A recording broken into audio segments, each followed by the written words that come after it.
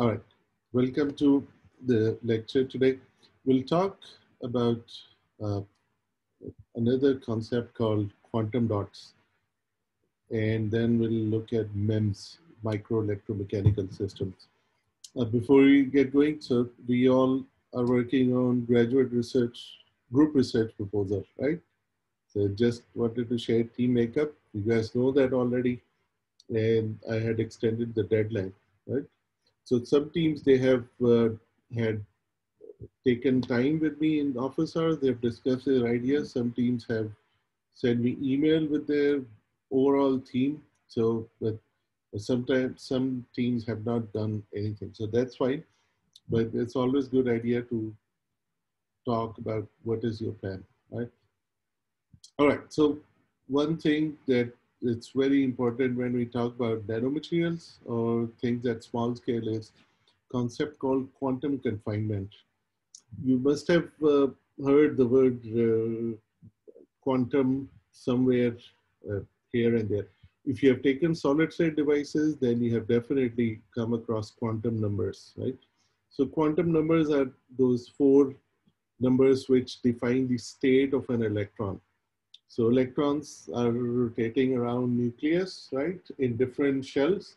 So that set of four quantum numbers tells us exactly where does that electron belong to, in which orbital, which suborbital, and tells us the energy also, right? Now, what does it mean quantum confinement?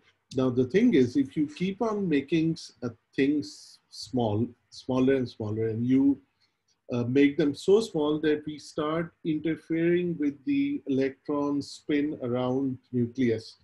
We basically start interfering with the uh, band gap, with the energy levels of a material. So they start behaving differently. So quantum confinement is especially more prominent in semiconductors. The simple reason is in metals, electrons would be freely flowing. So there's no problem. You can make them small, they'll keep on flowing. Or in insulators, there's no free electrons for conductivity. So not a big deal. But in semiconductors, we can change the energy uh, of an electron and it can jump from valence band to conduction band. I, I don't want to go in that detail in this course, but we'll just touch upon. Now, if we start changing their energy gap, then their band, uh, their uh, behavior will start changing. Now, this change in behavior, how do we see? We'll see how we could use it to our advantage, the concept of quantum confinement. But it happens at uh, dimensions below two nanometer, which means whatever entity we are dealing with, it has to be two nanometer or smaller than that, they, where we can uh, see a increase uh, role of quantum confinement. Now, if, if that entity that we are dealing with is zero dimensional, one dimensional, or three dimensional, and you have seen the examples of that in uh, SoftChalk lesson that I had, we would give them different names. So in, in we would call it either quantum well, quantum wire, or quantum dot. So now, how does that help us or where does that affect us? Just give me a second, let me deal with.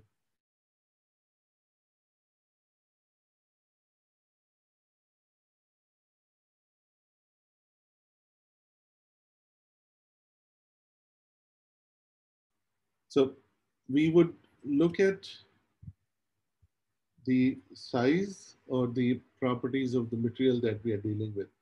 If it's a nanoparticle, but it's not just a nanoparticle, it's a special nanoparticle because it is supposed to be semiconductor. And if it is what we are calling quantum dot, then it has to be an optical semiconductor. So what is an optical semiconductor? A semiconductor where we can get light out of the material at different ways.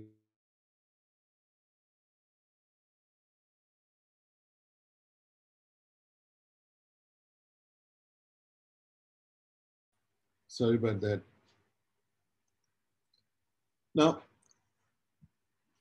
zero dimensional, one dimensional, one dimensional can be a wire, a long, very long entity, carbon nanotubes, for example. They're one dimensional. They have only length, they don't have width. They have it, but it's almost negligible compared to the whole length. Just give me a second.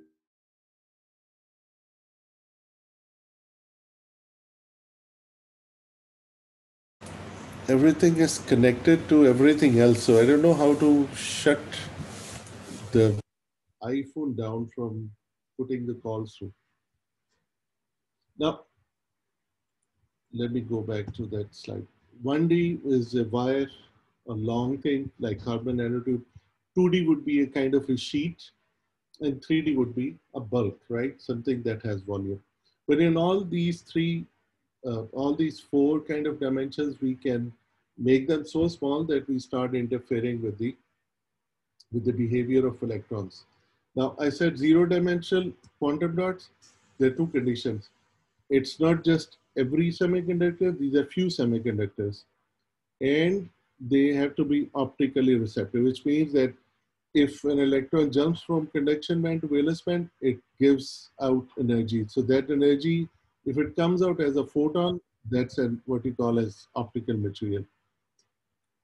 Now, if a material is confined in one direction, its energy uh, would result into very specific states. We call it density of states. I don't want you to go too deep into that, but we, we need to understand why does the wavelength change? That was a question that was asked in one of the Muddiest point also that for one material, they're supposed to have one band gap, they're supposed to have only one wavelength that comes out of it. Hi, Krista. So, but now how do we change the wavelength? How do we get another light? So that's a property that we can tweak at nanoscale. And that's what we are, what we call as quantum confinement. So when we make them confined in very specific direction, then we would have to deal with their behavior. And in our, in this case, what we call as quantum dots, the behavior, behavior is that they would give out light, right? So this is just the recap of uh, band gap, solid state devices. And if an electron jumps from conduction band to valence band, the extra energy is given out as uh, what we call as wavelength, as a photon of specific wavelength. And that wavelength depends on the, the band gap that it's jumping. So now when, it, when you confine it in in zero dimensions, which means a particle. And if that particle is uh, made of an optical semiconductor material, we get quantum dots. This is just a picture showing a few atoms coming together in a crystalline structure and in a round shape. So what's happening is they have a, a, a three-dimensional quantum confinement. They, they have no way to go.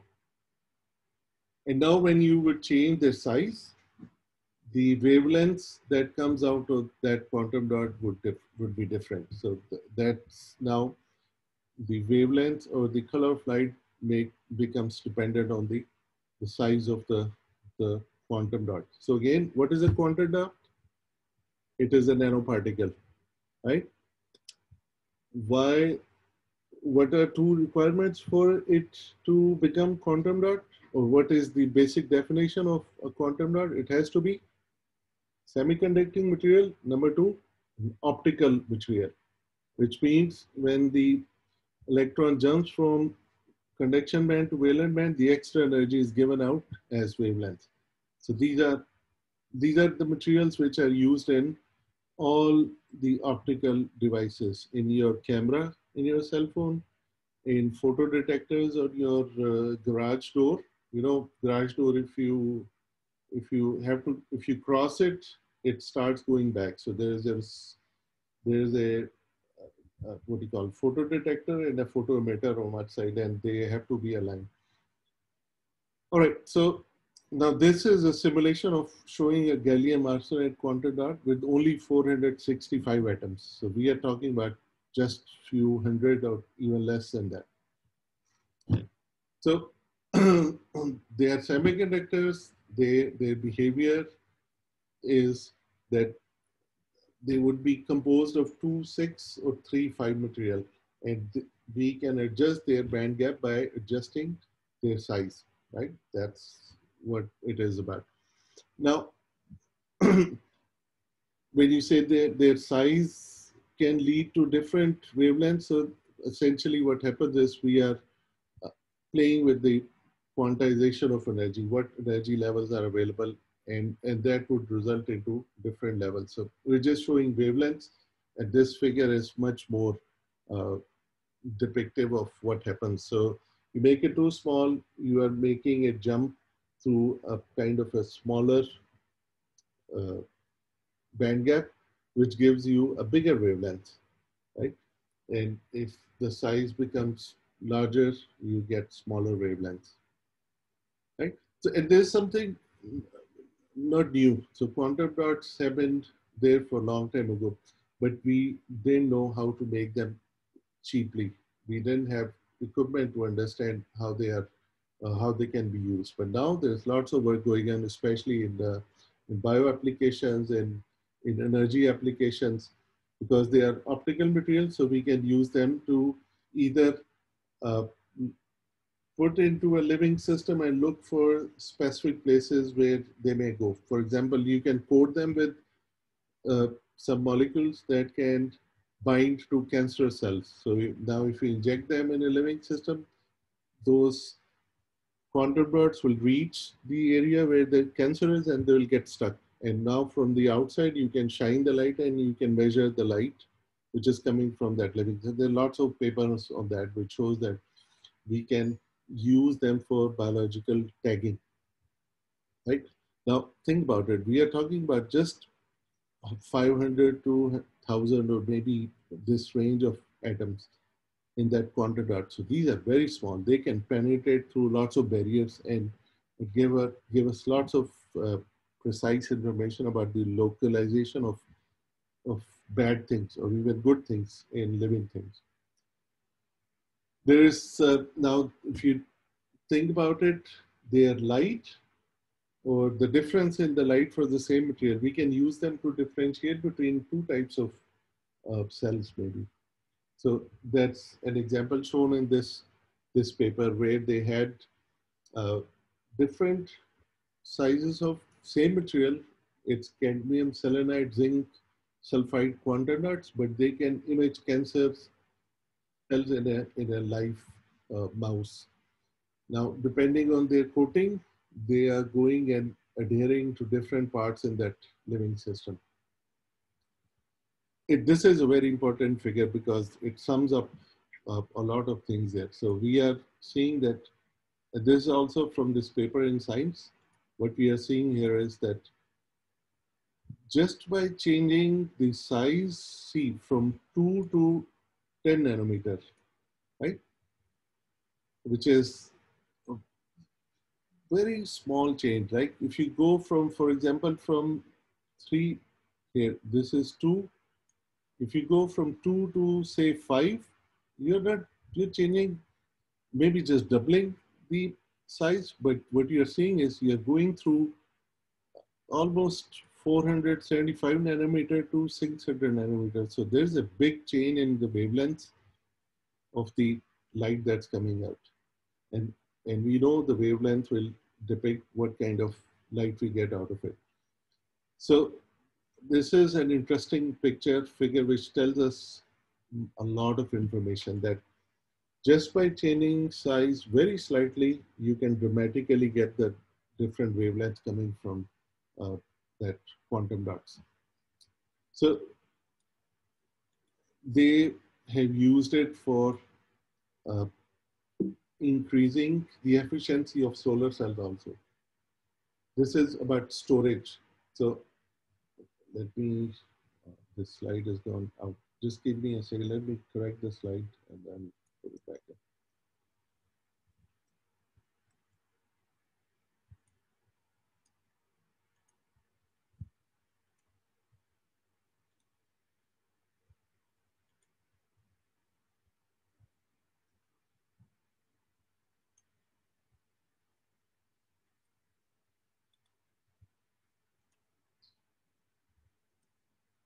All right, so they, now think about it, optical storage. We have, uh, we already use optical storage, CDs, compact discs, DVDs, Blu-ray discs, they're all optical storage. So we are using them to create blue laser. So if we can create blue laser, we can read very small dot.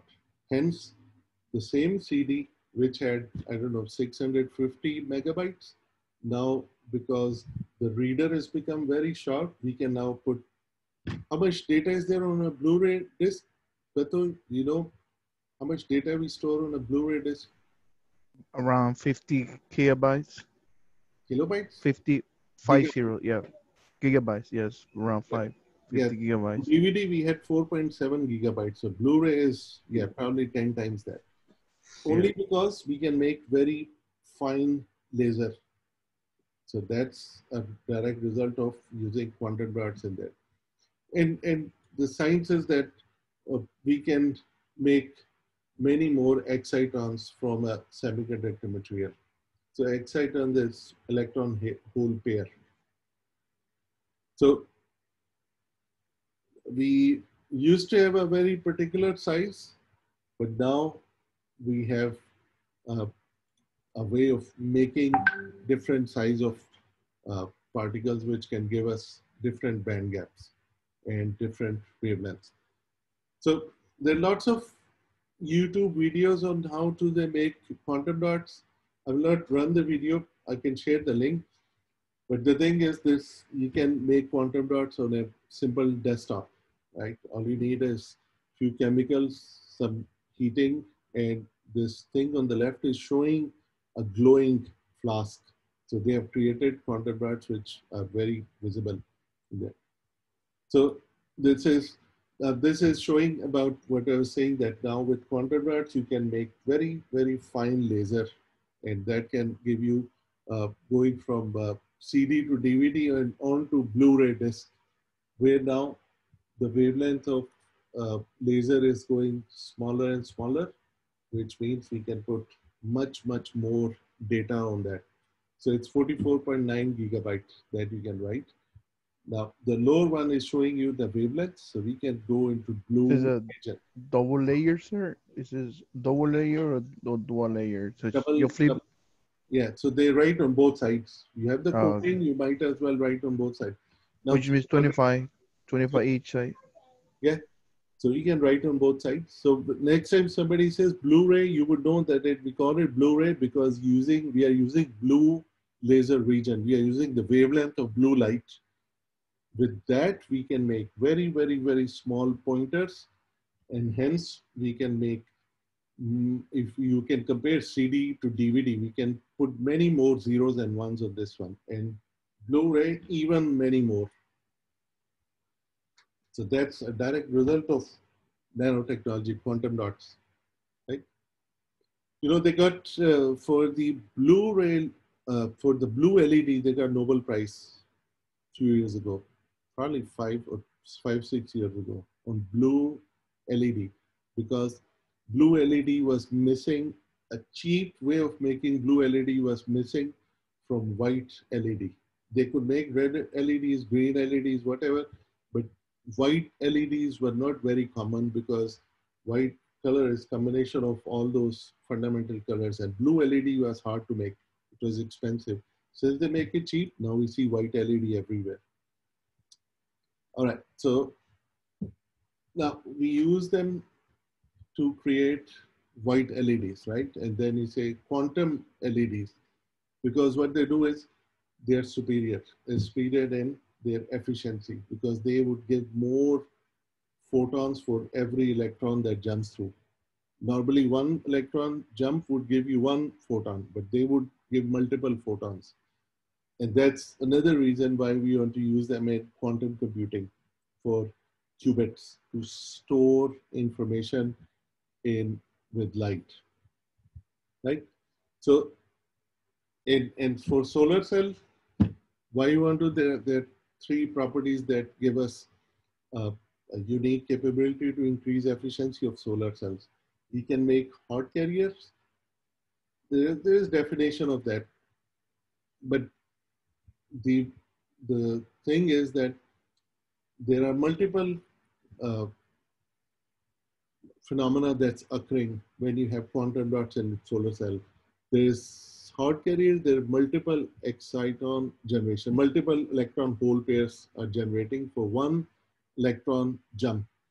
And quantum dots give us intermediate energy bands, which means we can absorb many, much more light than just regular solar cells.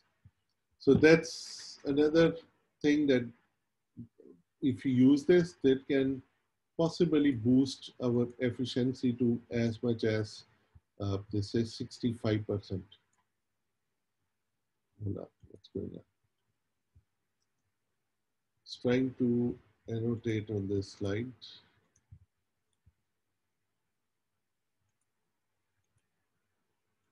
So this can boost solar power efficiency from just 20 to 30 to as much as 65%, right? So the reason, those three reasons, which we'll talk a little bit more in the next slide. So they can create hot carriers, which is that we can photo generated carrier can get to deep inside the material and then they can uh, turn and move from higher energy level to lower energy level, both in electron, uh, in conduction band and valence band.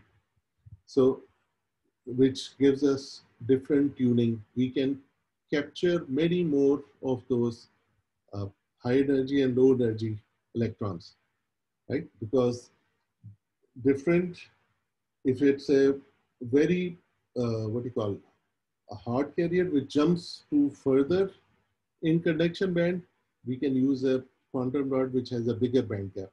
So we will not lose that energy. So that also will be converted into a photon.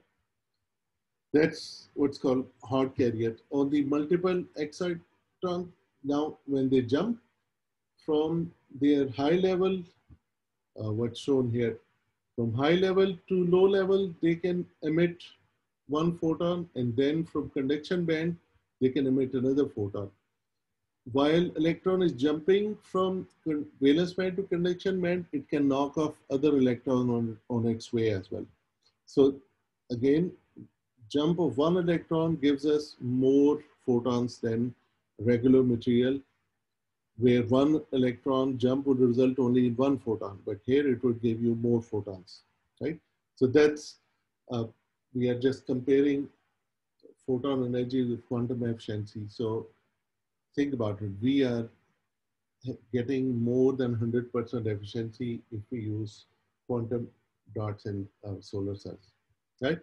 So the third reason was intermediate bands, which means that on a regular material, we cannot have energy bands in the forbidden zone. But if you use quantum dots, they can introduce intermediate bands and that can give you more energy levels and hence more photons from jump of one electron, right? So a little bit more technical, but if uh, you have some basic concept of band gap from solid state devices, this becomes easy. But even if you don't have a big picture of this is that quantum dots can, uh, are already making big changes in, in biological tagging, in solar cells, in data storage, right? So these are very big high level contributions of uh, quantum dots. Now, we have seen they are made from two, three uh, different semiconductor materials, right? So it's just showing the crystalline structure here of cadmium selenide nanostructure? So they have to be, again, semiconductor, crystalline semiconductor material, and they have to be optically active, right? Any questions on uh, quantum dots? All right, so let's uh, maybe we can stop here and uh, I would let you focus on uh, GRP. Any questions on GRP? All right, very good. Good luck with that. And uh, we have less than a week left. And um, I'll be here the whole weekend if you get any questions, right? We need, I would love to wrap up everything. Yeah, Beto, go ahead. Uh, are we going to have a final test? We'll have a final test and I'm looking forward to have a little bit similar like a quiz kind of thing. Okay, thank you, thank you. All right, guys. I'll see you later. Thank you. Thank you.